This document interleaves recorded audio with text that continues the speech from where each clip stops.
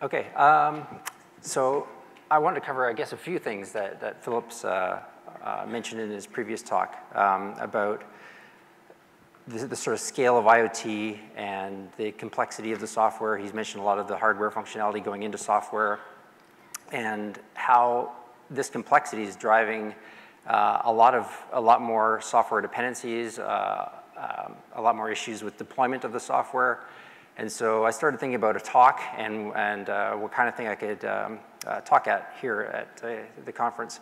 And so I have a talk following this in this room. Uh, the title of it is uh, Speeding Up Development uh, with Yocto and Open Embedded, or sorry, with Debian and Open Embedded on the 410C. it is not a marketing talk. It is not specifically about the 410C. it does highlight for people who are interested about the, the Dragonboard 410C, um, for those who are interested. But it's mainly a talk about uh, Yocto, uh, about uh, Debian, about the differences in the communities. I can't tell you how many times I have tried to explain to people that when you build something for one system, it doesn't automatically work on the other system.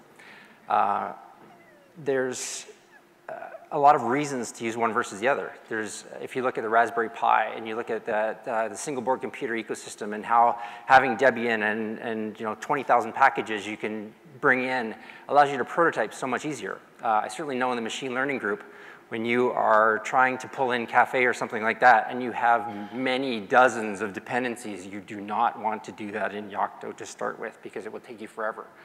Uh, there are ways to do this intelligently. And so the, the, speeding up part of it is how do we do this intelligently?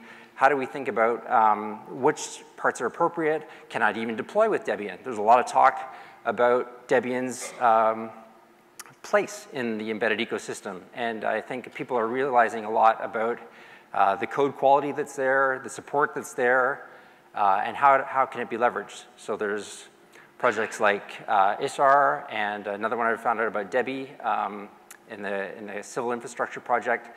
So I'm going to talk about all these things in the talk and try to paint the broader picture, give you lots of links. Uh, but um, uh, even in the speaker's lounge this morning, I actually heard a, a pretty heated talk about Debian versus uh, Yocto. So it, it is, I believe, a, a very pertinent issue. Um, what else did I want to cover?